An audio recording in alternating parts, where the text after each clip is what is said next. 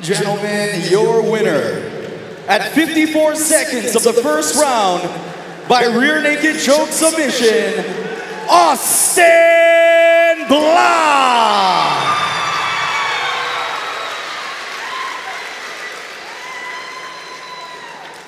Austin, congratulations, interim featherweight champion. Uh, we need to give some backstory. Levi is actually the current champion. He's been out for a while.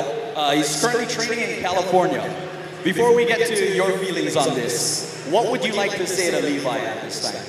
Uh, he's, he's my teammate, so we would never fight, but whoever else that wants to try, I'm freaking down. How do you feel about this win, and tell us what you expected from Keoni coming in? Uh, I take everybody the same. I just train as hard as I can. Uh, surrounded by good coaches, good family back me up, and all my friends are always there. Um, train hard. Staying at 145? Uh, probably for now. Yeah.